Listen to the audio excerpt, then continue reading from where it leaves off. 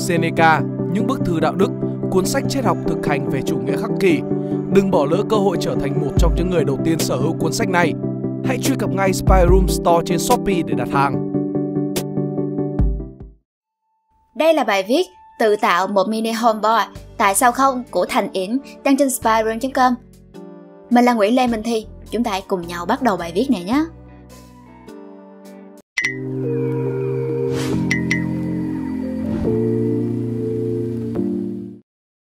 Bạn thừa sức có khả năng tự pha được hàng chục loại cocktail một cách đơn giản.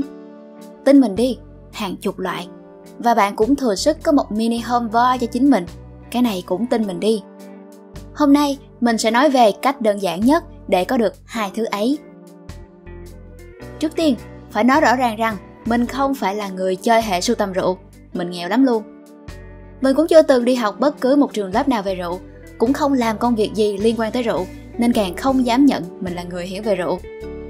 Mình chỉ hiểu duy nhất một thứ liên quan tới rượu thôi, đấy là khẩu vị của mình. Nói như thế để các bạn, nhất là các anh em có độ tuổi 2X, chưa bao giờ hoặc rất ít dùng rượu tây, gạt bỏ khỏi đầu các suy nghĩ kiểu như Tiền đâu ra mà đi bar, tiền đâu ra mà mua rượu tây, tiền đâu ra mà theo đuổi mấy em gái thích cocktail. Vì lo về tiền và ngại việc thử đang là hai thứ rào cản lớn nhất ngăn mọi người có thêm một trải nghiệm hoặc kiến thức về thứ rất hay ho này. Mọi người có hay để ý trên phim ảnh, đàn ông phương Tây có thể pha một vài loại cocktail hoặc đơn giản hơn là có một chai rượu Tây tại nhà để buổi tối nhâm nhi một mình. Nếu bạn may mắn thì là hai mình không? Mình luôn cho rằng biết pha một vài loại cocktail đơn giản là một kỹ năng mà đàn ông hiện đại cần phải có y như kỹ năng sửa đồ điện trong nhà hay nấu ăn vậy. Và hiểu biết một chút về rượu và cách uống rượu cũng là một thứ cần phải có, y như việc bạn hiểu về cái xe máy bạn đang đi. Dĩ nhiên, trừ các bạn kiêng rượu, ghét rượu hay quy y rồi thì mình không tính. Bài này mình viết cho các bạn chưa tìm hiểu hoặc ít trải nghiệm về rượu Tây. Còn các bạn mà đã hiểu và trải rồi thì vẫn cứ đọc cho vui nhé. Đầu tiên, nói về tiền hay đúng hơn là chi phí dành cho rượu. Bar, pub, club là chỗ kinh doanh nên giá của một ly ở đó có khi là bằng 1 phần 3, thậm chí là một nửa giá của chai rượu rồi. Không thể lúc nào cũng đến đó uống được.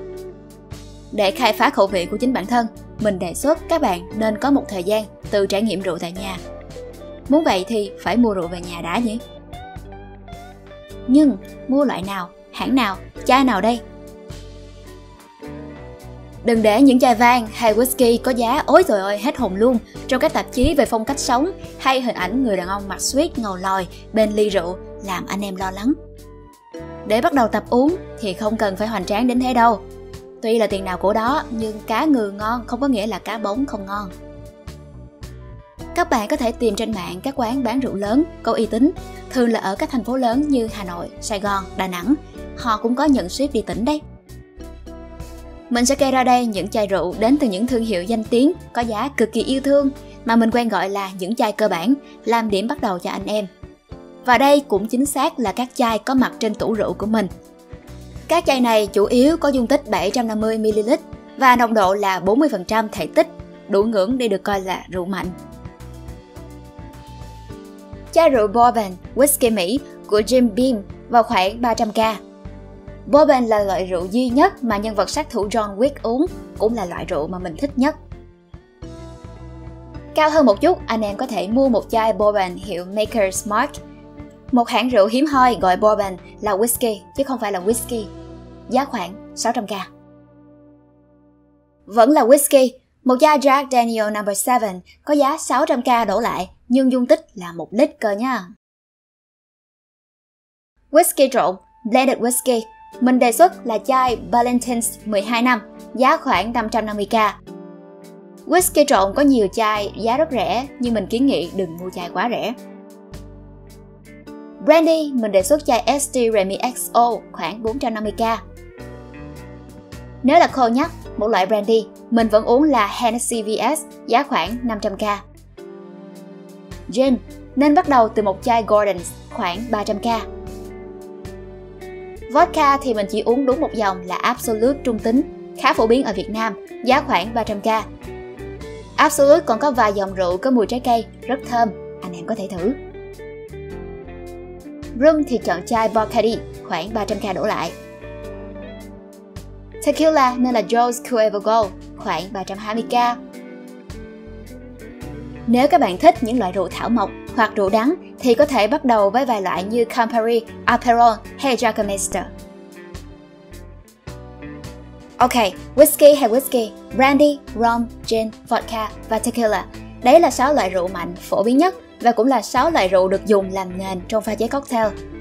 Rượu vang là một mảng khác và mình thì không hay uống rượu vang nên không biết gì để mà viết cả. Tính sơ sơ mua cả 6 loại thì hết cỡ 2,5 triệu đồng gì đó. Nhưng mà các bạn đừng lo, cứ bình tĩnh.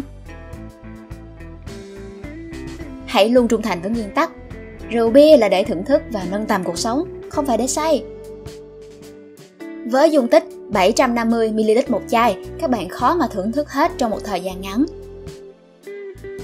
So tủ lượng của mình, mỗi lần mình uống khoảng 45ml bourbon, nguyên chất hoặc là pha cocktail, tùy tâm trạng của tôi đó. Với tần suất khoảng 3 ngày uống một lần như hiện tại, mình mất khoảng một tháng rưỡi mới phải mua một chai mới. Thêm nữa, anh em chẳng cần mua một lúc cả 6 loại. Nếu để nhâm nhi, mình đề xuất hãy mua brandy, whisky hay whisky. Nếu muốn làm một shot sóc lông ốc, hãy mua tiếp tequila. Để pha vài loại cocktail, nhất là các món phù hợp với phụ nữ, lúc ấy hãy để ý đến gin, rum và vodka. Vậy là chỉ khoảng 1 triệu đồng, bằng đôi bữa nhậu, anh em đã có thể chạm một chân vào vùng đất với những trải nghiệm hoàn toàn mới. Để chạm một chân còn lại, ngoài uống cái gì thì cần biết nên uống như thế nào. Có 3 dụng cụ quan trọng, dù tối giản đến cỡ nào thì các bạn vẫn nên có, đó là ly uống rượu, bình lắc và ly định lượng. Ly uống rượu có rất nhiều kiểu, mỗi loại rượu đều có những kiểu ly chuyên dụng khác nhau. Riêng whisky thôi thì cũng đã có vài dáng ly cơ bản rồi. Nhưng cứ tạm quên chuyện kiểu dáng của ly đi, hãy cứ bắt đầu với một chiếc ly có dáng phổ biến như thế này. Mình đoán là nhà ai cũng có một vài chiếc ly thôi. Tricker dùng để đo lượng rượu, thường dùng đơn vị ml, có hai đầu. Một vài người như mình thì dùng loại một đầu. Cơ bản y chang cái ly shot, ly hạt mít uống rượu ta ấy. Tricker thì được bán rất nhiều trên Shopee hoặc các khu chợ lớn, chỉ khoảng 30k là đã có một cái dùng ổn rồi.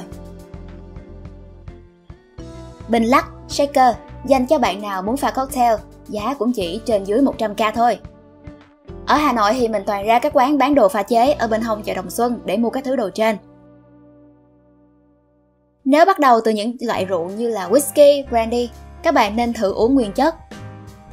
Nhâm nhi theo công thức đầy đủ, bài bản thường thấy là Lắc ly để ngắm độ sánh và màu rượu Đưa lên mũi hít một hơi để cảm nhận mùi rượu Uống, có thể giữ rượu trong miệng 1-2 giây trước khi nuốt hít thở để mùi rượu được phủ kín khoang mũi và họng.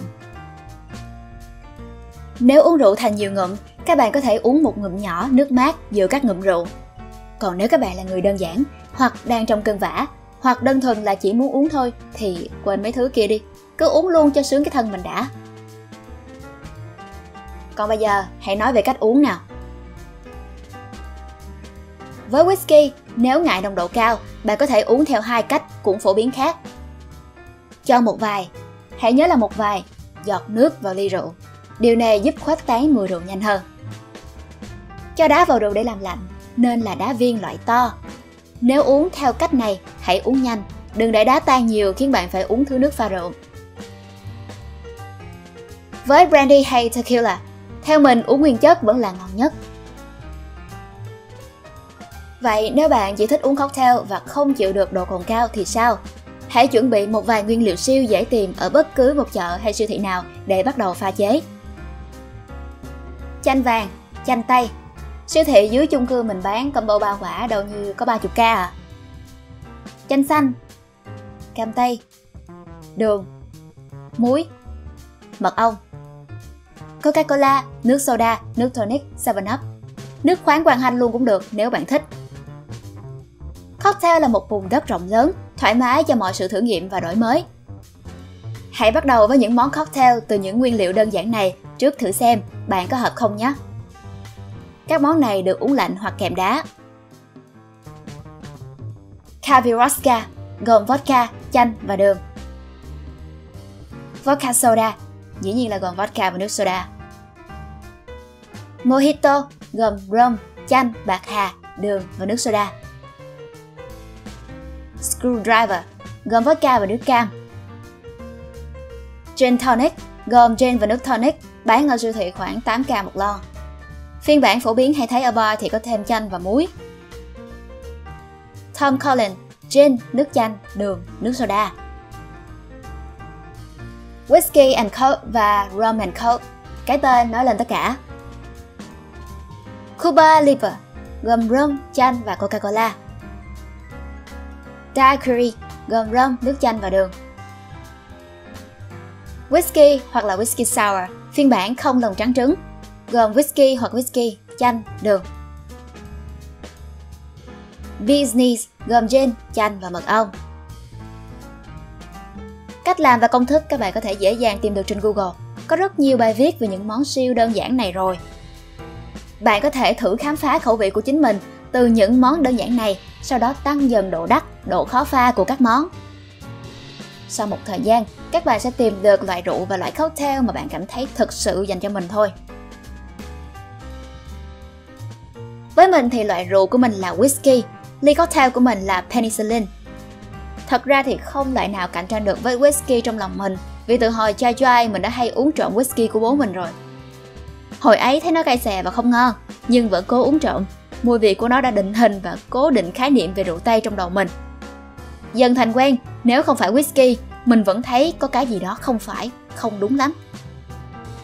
Đó, vậy là chỉ cần để dành chi phí của hai ba bữa nhậu bù khú tới say mềm, bạn có thể có một cái mini bar nhỏ xinh tại nhà, một góc của chính mình để bắt đầu có một thú vui, sở thích và kiến thức mới rồi. Và hy vọng là các bạn thích video lần này. Đừng quên like, share và subscribe ủng hộ chúng mình. Và nếu như các bạn thích những nội dung như trên thì hãy đăng nhập vào spyroom.com để tìm đọc thêm. Xin chào và hẹn gặp lại. Mình là Nguyễn Lê Minh Thi. Bye bye.